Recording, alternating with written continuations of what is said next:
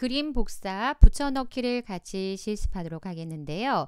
예제 파일 불러와 주시고 첫 번째 그림 1번 시트 클릭합니다. 엑셀은 열 단위로 작업을 하기 때문에 열 너비가 다른 표를 작성할 때는 조금 불편함이 있습니다. 그래서 그거를 어, 과거 엑셀 버전에서는 카메라라는 기능을 사용을 했는데 지금 범, 음, 버전에서는 그림 복사, 붙여넣기를 이용해서 충분히 열 너비가 다른 표들을 작성할 수가 있습니다.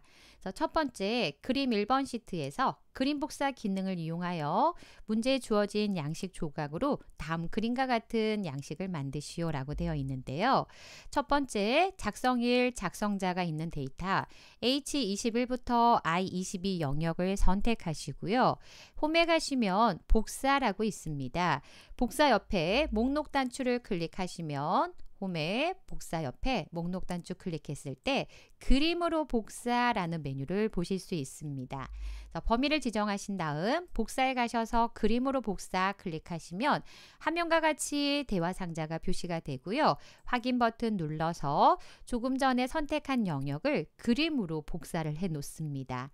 다음은 B2셀을 선택하시고요. 음, 홈에 가시면 클립보드에 붙여넣기 클릭하셔서 네, 붙여넣기 클릭하셔서 그냥 클릭하시면 음, 부, 그림으로 복사한 내용을 붙여넣기 하실 수 있습니다.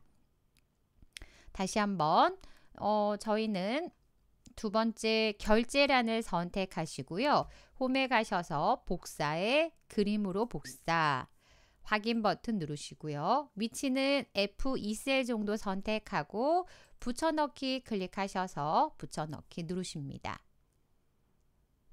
다음 세 번째 한국, 미국, 일본 데이터가 있는 영역을 선택하시고 복사에 가셔서 그림으로 복사 확인 한번 누르시고요. 다음 위치는 음, B6셀을 선택하시고요. 붙여넣기에 예, 클릭 붙여넣기 클릭하셔서 복사한 내용을 그림으로 붙여넣기 합니다.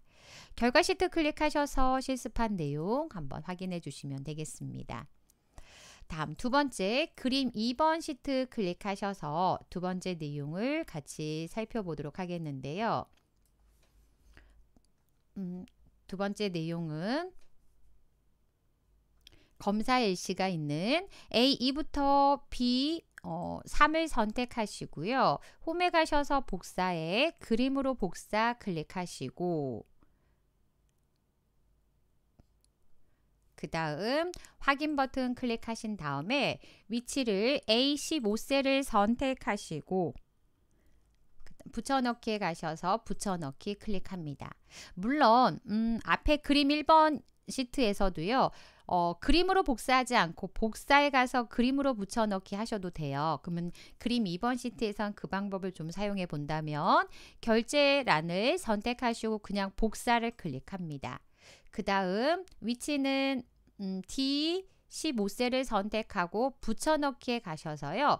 그림으로 붙여넣겠다라고 기타 붙여넣기 옵션에서 그림을 선택하셔도 됩니다. 다시 작업자 현황에 가셔서요. 어, 작업자 현황부터 사고 발생 현황을 선택하시고 복사를 클릭하신 다음에 A19셀에 갖다 놓고요. 붙여넣기에 가셔서 붙여, 기타 붙여넣기 옵션에서 그림을 선택하셔도 됩니다. 그래서 그림 1번 시트에서 작업한 방법과 그림 2번 시트에서 작업한 방법, 결과는 동일합니다. 그래서 그림으로 복사하거나 복사하신 다음에 그림으로 붙여넣기 하시거나 둘 다 결과는 동일합니다. 다음은 세 번째 문제 그림 3번 시트 클릭하셔서 어, 이렇게 엑셀에서는 어떤 음, 보고서를 작성하는데 위쪽에다 결과 결제란을 만들려고 할 때요. 이렇게 그림으로 결제란을 작성하지 않고 음, 나 여기에다 결제란 만들 거야 라고요. 개, 과장, 국장, 사장 이렇게 되어 있을 때요. 이만큼 음, 다섯 개 정도 선택을 해야겠네 라고 이만큼 선택을 하시고 제가 예를 들어서요. 테두리 가셔서 모든 테두리 그 다음 열 너비를 조절해야 될 것 같다라고 드래그를 하시면요. 아래쪽의 내용의 열 너비가 같이 조절이 돼서 어, 보고서 내용이 좀 흐트러질 수 있겠죠. 이래서 실행 취소, 실행 취소 누를게요. 그래서 결제란들을 다른 시트나 다른 위치에다가 만들어 놓고 그림으로 붙여넣기 형식으로 결제란을 작성하는 경우가 많습니다. H16부터요. L17 영역에 작성된 결제란을 어, 복사한 다음에 D4셀에 그냥 그림으로 붙여놓고 끝내지 않고요. 연결하여 그림으로 붙여넣으라고 되어 있습니다. 범위 정하신 다음 홈에 가셔서 복사 다음은 D4셀을 선택하시고요. 그 다음 붙여넣기 가셔서 기타 붙여넣기 옵션에 그림 옆에 보시면 연결된 그림이라고 있습니다. 네, 붙여넣기에 기타 붙여넣기 옵션에 오시면 아까는 그림을 선택을 했는데요. 이젠 연결된 그림으로 붙여넣기 위해서 붙여넣기에 연결된 그림 선택합니다. 음, 연결된 그림으로 붙여 넣으면 어떤 차이점이 있냐면요. 여기에 음, 결제란에 특정 텍스트를 대리라고 수정을 한번 해볼게요. 대리라고 수정을 하면 네, 위쪽에 그림으로 붙여넣었던 결제란도 대리라고 수정이 된 걸 확인할 수 있습니다. 다시 개라고 수정하면 개로 수정이 되고요. 연결된 그림으로 붙여 넣는 작업까지 살펴보셨고 결과 시트 클릭하셔서 맞게 작성이 되어 있나 확인해 보시면 되겠습니다. 그림 복사 붙여넣기 내용 살펴보셨습니다.